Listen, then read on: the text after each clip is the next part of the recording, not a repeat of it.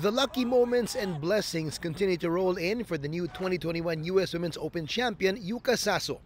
On Tuesday, as Saso visited the men's U.S. Open at Torrey Pines in San Diego, she checked off another item in her bucket list, meeting her idol, fellow U.S. Major Golf champion Rory McIlroy.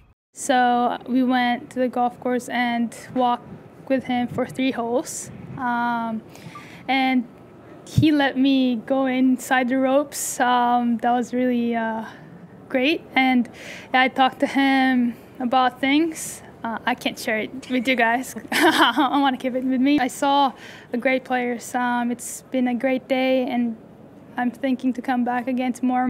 Saso gushed that she was more nervous meeting McIlroy compared to her winning putt at the U.S. Open.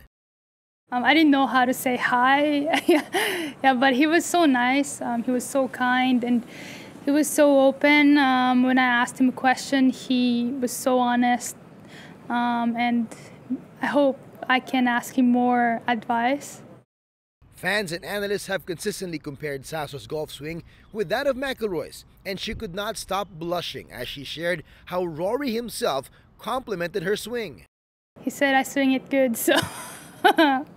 but yeah, um, maybe I can ask him someday about any tips about my swing. Maybe someday if his if he has a free time, um, if we can talk maybe more. Since becoming the first Filipino to win the U.S. Women's Open, Saso said life has been a whirlwind.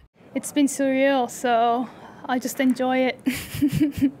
On Wednesday, Saso will head to Atlanta to begin preparing for her next major tournament, the KPMG Women's PGA Championship, where she'll be competing with fellow Pinay pro golfers Bianca Pagdanganan and Dottie Ardina. TJ Manotok, ABS-CBN News.